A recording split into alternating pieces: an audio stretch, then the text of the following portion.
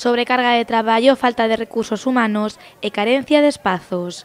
Eses son algúns dos problemas aos que teñen que facer fronte diariamente os traballadores de urxencias, unha situación que causa saturación no servizo e longas colas de espera para os pacientes. Estamos saturados porque efectivamente todo ano, non só no inverno, eh, entra moita población, entra moito número de personas, aumentan, inda que din que non, cada ano se aumentan as entradas e aparte o tipo de pacientes. Aparte de que a población abellou moito, entón que xente moi maior con moita patoloxía que che require moito tempo dedicarlle e logo mm, temos códigos de patoloxías emergentes que temos que dar prioridade e onde necesitamos mm, moitos recursos, moito tempo e moitos recursos para tratamentos moi específicos e moi urgentes e faltanos personal para iso. O persoal de urxencias asegura que esta concentración desencadeouse tras o escrito presentado na xunta de persoal, no cal pedíase que se contratase unha enfermeira máis por quenda para poder traballar por equipos. Ademais, nesta manifestación fixeron fincapé en que este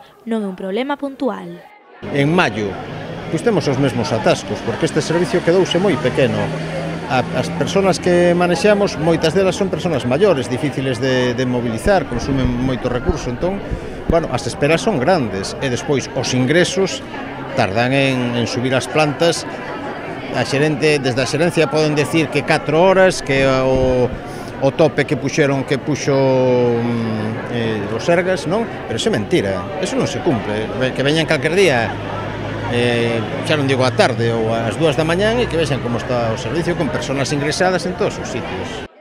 Nesta concentración, os traballadores exixiron a dimisión do xerente da área sanitaria de Pontevedra e os Alnés, unha petición que nace tras a decisión de reabrir as 16 camas da Unidade de Medicina Interna do Hospital Provincial, que permanecían pechadas dende o verán. Non podemos tolerar que unha xuntanza cos, cos cos representantes sindicais nos diga que as 16 camas estaban cerradas a conciencia e que non podía abrilas porque se se producía un pico, a ver que vendía despois, prácticamente, vou a decir, non? Son, esperamos que haxa un pico de verdade e entón abrirémolas. Que, porque o escándalo é menor. Si é así, os medios non van a divulgar tan crudamente a realidade. Pois deso se trata, é algo descaradísimo, non? non nos colle de sorpresa, eh, é antido este serente. En outra ocasión falaremos de por que pedimos a dimisión. Non é só por que está ocurrindo en urgencias, está ocurrindo en outros servicios como Medicina 3, pechada a mitad, como Medicina 2, como unha cantidad de servicios que están os recursos humanos ao límite, pero ao límite. O delegado sindical denunciou tamén a explotación dos traballadores e, como consecuencia, a mala atención que se está a dar aos pacientes, xa que, segundo el, son moitos os que pasan ata 24 horas nunha camilla, cando na actualidade hai camas pechadas.